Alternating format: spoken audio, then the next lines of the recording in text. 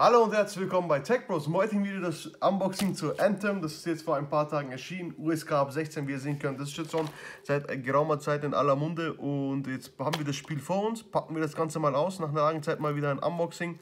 Und fangen wir mal an. Das Ganze von EA, BioWare, wie ihr hier lesen könnt.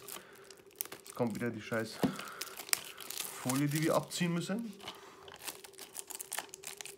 Und daran wieder nicht. So kann ich den Scheiß eigentlich nicht. Also, hier haben wir draufstehen, wie ihr sehen könnt, ein Spieler, mindestens 50 GB an Speicher wird benötigt, was jetzt in der heutigen Zeit Standard ist. Äh, Full HD-Ausgang ist klar, unterstützt Remote Play, sprich ihr könnt es mit eurer PS Vita zocken. Wobei ich sagen muss, man kann die PS Vita irgendwie nirgendwo mehr kaufen, das äh, stört mich ein bisschen, ich wollte mir eigentlich eine zulegen, aber muss ich halt mal gebraucht schauen. Wenn wer was weiß, schreibt es mal in die Kommentare. Für die PlayStation 4 Pro optimiert und äh, ja, das Ganze hat, ist ausgezeichnet für über 90 Awards, wie ihr sehen könnt, darunter bestes Actionspiel. Und äh, ja, wir, wir sind ziemlich cool. Schauen wir mal, was sich in der Box befindet, ob noch irgendwas dabei ist. Hier haben wir Willkommen in Anthem.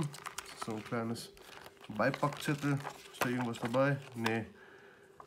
Steht nur was von den Entwicklern. Und hier wieder diese Gebrauchshinweise.